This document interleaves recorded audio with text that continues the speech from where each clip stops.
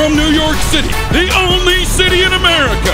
It's the show that invented news.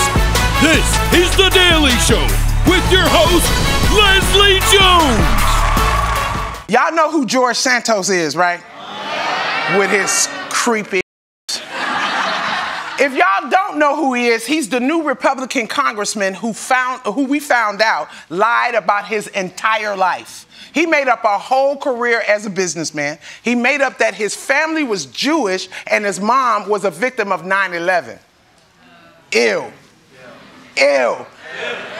Do you know how much you have to lie to be known as the lying congressman?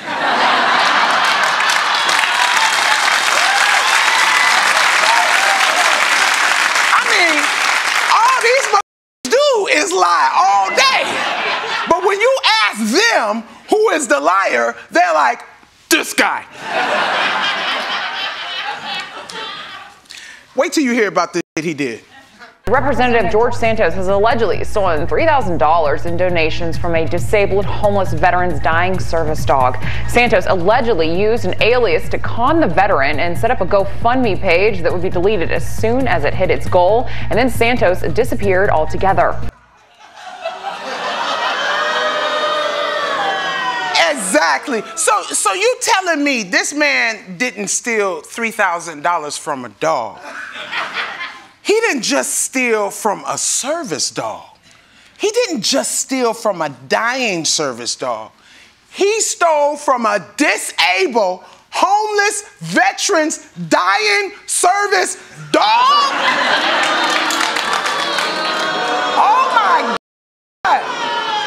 You evil and stupid. you gonna mess with somebody's dog? Have you not heard of John Wick? Your ass is in trouble, trouble. Mess with no veterans, dog.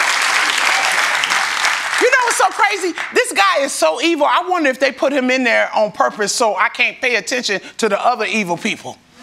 Anybody got any eyes on uh, Marjorie Taylor Greene? What's up with that? What is that up to?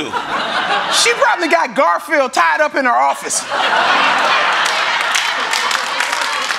I'm serious. Like, what does this man have to do to get thrown out of Congress? He's a liar.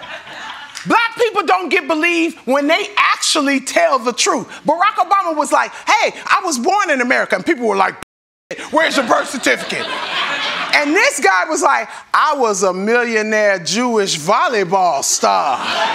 And y'all like, hell yeah, put him in Congress. This is The Daily Show